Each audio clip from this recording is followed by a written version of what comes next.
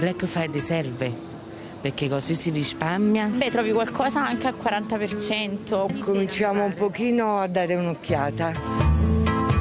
Napoli, tra le vetrine dei negozi, è già partita la caccia all'affare. Manca poco al Black Friday, il venerdì nero, il giorno dei grandi sconti. Quello che ho ora addosso ho 300, ma sicuramente a casa ero senza un euro, sicuro. È semplicemente un modo per cominciare, per partire, per cominciare a fare shopping, vedere i regali, le luci, disintossicarsi un po' appuntamento atteso da chi ama lo shopping e non solo, perché per molti la ricerca dell'occasione è soprattutto un risparmio assicurato in vista del Natale. Quello che costa meno, quello prendi alla fine. Non ho visto grandi affari, anzi forse c'è anche qualche piccolo tranello. A me interessa la tecnologia, quindi non mi conviene perché sono comunque prezzi alti.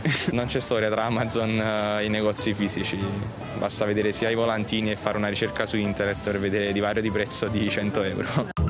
Allora se la corsa al massimo ribasso corre soprattutto sul web, a preoccupare i negozianti è proprio la concorrenza a colpi di click. Abbiamo avuto moltissimi problemi di approvvigionamento, anche perché manca la materia prima, mancano, soprattutto nel nostro settore mancano i microchip dedicati ai cellulari. La concorrenza è tanta perché sono delle multinazionali e poi loro non pagano tasse. Quindi non comprate cinese.